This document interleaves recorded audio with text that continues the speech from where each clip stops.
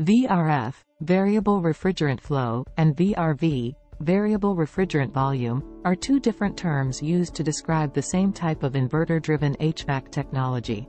Both VRF and VRV systems allow the compressor to vary its output based on the cooling or heating requirements of the space. The terms VRF and VRV were both coined by Daikin, a leading manufacturer of HVAC equipment. Daikin invented the first VRV HVAC systems in the early 1980s and copyrighted the term VRV. Other manufacturers, such as Mitsubishi Electric, also offer VRF systems that function similarly to Daikin's VRV systems. While VRF and VRV refer to the same technology, there may be slight differences in the way these terms are used in different regions or by different manufacturers. In some cases, VRF may be used as a generic term to describe the technology, while VRV may specifically refer to Daikin's branded systems.